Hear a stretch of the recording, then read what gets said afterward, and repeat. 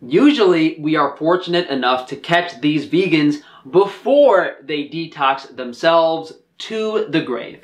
Unfortunately, this one really did take it too far. Robert Lockhart has passed away after attempting to dry fast on a raw fruitarian diet, which he had been following for apparently 30 years, the cause of death being organ failure. I don't think the guy looked good at any point he was on YouTube, whether it was seven years ago or one year ago lack of muscle mass, sagging, wrinkly skin, but compared to the average fat, pale, standard American dieter, it's easy to see how he unfortunately looks healthier than the average person walking down the street despite half starving to death. Before we go into the mechanisms and explain what exactly happened, this message has to be spread appropriately and effectively. Vegans are going to say that this is an extreme example of the diet and that he didn't do the vegan diet correctly. But no one does the vegan diet correctly because it's a starvation diet. What happened to this man is happening on a lesser level to every single vegan there is. And depending on what negatives are present in a person's diet, their individual tolerance to these deficiencies, different diseases will manifest themselves. B12 deficiency can cause high homocysteine, leading to stroke or heart attack. It could be the high omega-6 fatty acid intake causing heart disease, you know, insane carbohydrate intake causing insulin resistance, diabetes, even fatty liver disease, which Steve Jobs actually suffered from after being raw fruitarian, the lack of omega fatty acids, accelerating neurocognitive diseases like Alzheimer's, the list is endless, but many modern diseases manifest themselves due to a lack of animal nutrition. The most important thing to convey is the necessity of quality animal foods in the diet. Doesn't matter if you're a standard American dieter, vegan, keto, grain-fed carnivore, neither of those things are the solution. Until special interest groups are able to make money off of you actually getting healthy, most people will never figure this out. Thankfully, you guys have found my YouTube channel. In a study, it was found that vitamin B12 and vitamin D deficiency were associated with chronic kidney disease. These are two things that will occur on a vegan diet as it is absent of vitamin B12 and absent of cholesterol, which is needed to metabolize vitamin D3. Uh, the study also found that kidney function was restored after supplementing vitamin B12 and vitamin D.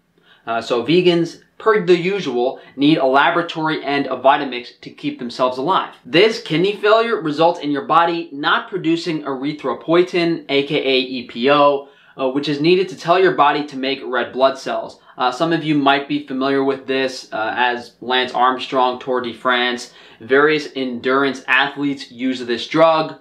Uh, without enough of it naturally occurring in your body, your red blood cell count drops and you become anemic.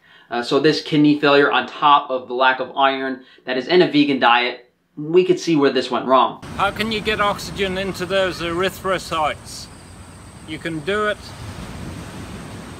by getting more oxygen into your lungs, more air into your lungs by a uh, graded exercise program and um, by uh, introducing gradually a regime whereby you're uh, doing 30 minutes a day at least walking and deep breathing while you're walking. There's no need to be actually spending a lot of time jogging or running. You can do just brisk walking is introducing oxygen into your body. I hate to break it to this guy, but I think he should stop breathing heavily and eat a steak. Uh, there was another study where a man had multi-organ failure and very low iron levels, but this was likely due to cadmium poisoning. Uh, it's questionable if the fruit Robert Lockhart was eating was grown in soil that had been contaminated with heavy metals. This, however, is complete speculation. Uh, we mentioned B12 deficiency causing high homocysteine earlier, and there are many studies affiliating high homocysteine with impaired liver function as well as kidney failure. And despite having high vitamin B12 levels in their blood, these patients tended to have low liver storage levels of vitamin B12. Uh, across all aspects of nutrition, all areas of medicine, serum vitamin levels are not usually good indicators uh, for overall health because your fat, your liver, various tissues in your body are where certain metals and certain vitamins are stored. You can't just measure blood levels and say, oh, I'm good. I read on a YouTube comment somewhere that he died of a heart attack. I don't know how true this is, but if that is the case, we know that B vitamins, specifically folate and B12, are very important for cardiovascular function. Uh, high homocysteine causing oxidative stress in the arteries is nothing to scoff at as well. Uh, there are probably half a dozen more ways this man could have died, considering his diet, considering what nutrient deficiencies. But again, correlated directly to the lack of animal foods in his diet. With how many people are suffering and dying, it's despicable how these vegans are behaving. Oh, he didn't do the diet right.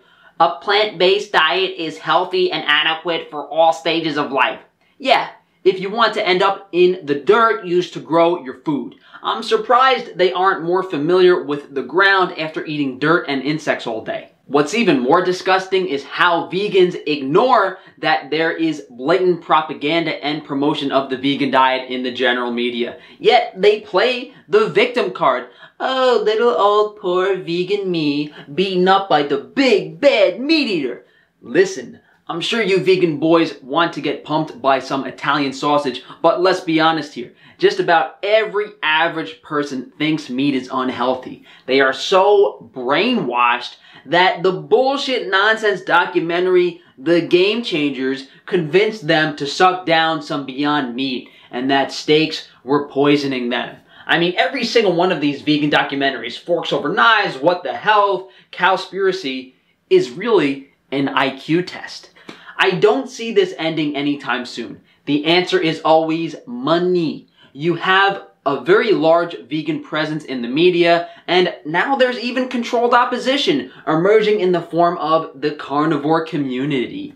The Cargill carnivores usually stuck to themselves, telling people to shove grain-fed beef down their throats, but now they're going after vegans, hoping to convince more people to shove grain-fed beef down their throats. Kind of ironic considering both vegans and grain-fed carnivores promote torturing animals and the control of the food supply. Well, thank you guys for joining me. I feel like I've been doing this every week now with how many people are getting maimed or killed by a vegan diet. And you know, some of them are hopping on the carnivore bandwagon, getting checks from Cargill. Uh, some of them are just fading away into oblivion. Who really knows what's going on?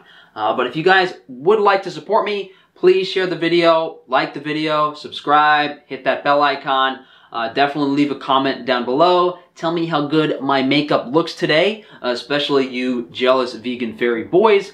Uh, you can also go to Frankie's Free Range Meat, high quality, nutrient dense animal foods at an affordable price. Uh, also check out Frankie's Naturals for minimal ingredients, minimally processed hygiene and cosmetic products. If you'd like to reach out to me for one-on-one -on -one health consultations on how to optimize every aspect of your life, send me an email, franktufano at gmail.com.